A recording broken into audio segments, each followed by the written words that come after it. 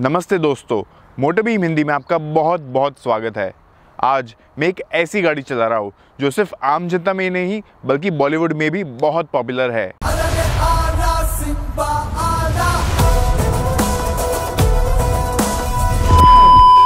हाँ ये वो गाड़ी है जो बॉलीवुड के टॉप कॉप्स बाजीराव सिंघम, संग्राम भालेराव यानी सिम्बा और अभी आने वाले सूर्यवंशी चलाते हैं।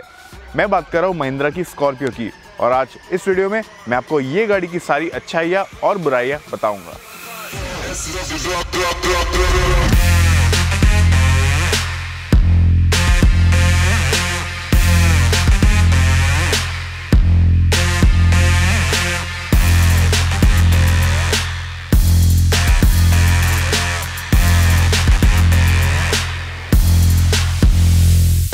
महिंद्रा स्कॉर्पियो की पहली अच्छाई है इसकी लुक्स और रोड प्रेजेंस हाँ ये गाड़ी की डिज़ाइन थोड़ी पुरानी ज़रूर हो गई है, लेकिन अभी भी बहुत अच्छी दिखती है। गाड़ी की साइज़ और प्रोपोर्शंस बहुत अच्छे हैं और इसी वजह से इसको बहुत अच्छी रोड प्रेजेंस मिलती है।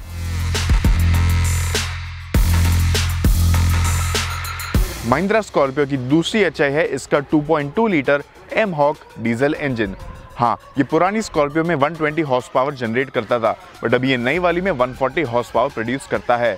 ये इंजन काफ़ी अच्छी परफॉर्मेंस देता है सिटी ड्राइविंग और हाईवे ड्राइविंग में, और इसकी फ्यूल एफिशिएंसी भी बहुत अच्छी है।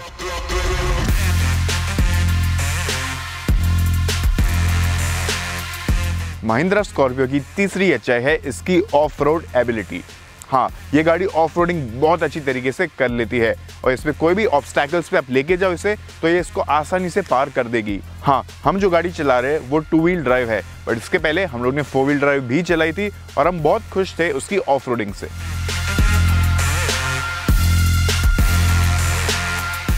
ये गाड़ी की चौथी और सबसे बड़ी अच्छाई ये है कि एक असली एसयूवी है। ये गाड़ी एक बॉडी ऑन फ्रेम प्लेटफॉर्म पे बेस्ड है और इसमें आपको एक रगेड और टफ वाली फील मिलती है। आज के मार्केट में जब हम देखते हैं तो आपको कॉम्पैक्ट एस और मोनोकॉक एस बहुत ज़्यादा मिलती है बट ऐसी असली एस बहुत कम है मार्केट में।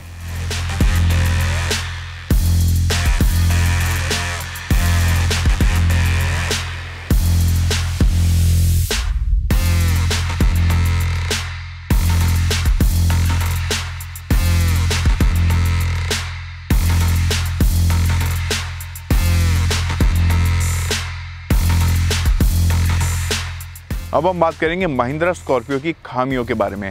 ये गाड़ी की पहली खामी ये है कि इसमें एक ऑटोमेटिक गियरबॉक्स नहीं आता। स्कॉर्पियो की जो पुरानी वर्जन थी, उसमें आपको एक डीजल इंजन के साथ ऑटोमेटिक गियरबॉक्स दिया जाता था। लेकिन ये वाली मॉडल में वो ऑटोमेटिक गियरबॉक्स नहीं आता अब, और ये काफ़ी बड़ी खामी है।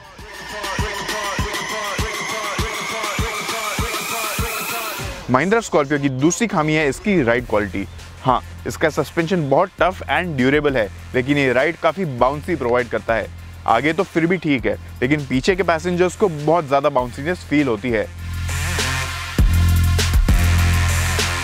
ये गाड़ी की तीसरी खामी है, इसके इंटीरियर की फिट एंड फिनिश इंटीरियर में कोई कोई ऐसे कंपोनेंट्स है, जिसकी क्वालिटी अच्छी नहीं है, और ये पार्ट्स काफ़ी इजीली टूट जाते हैं या निकल जाते हैं।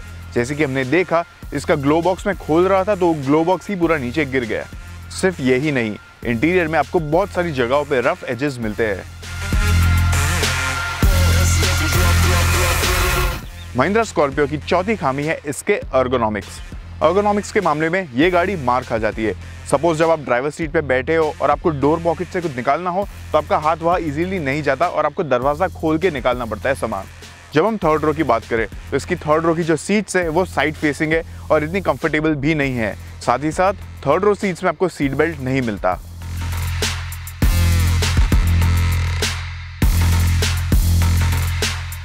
तो मैंने अपनी तरफ़ से आपको बता दिया, ये गाड़ी की सारी अच्छी बातें और बुरी बातें।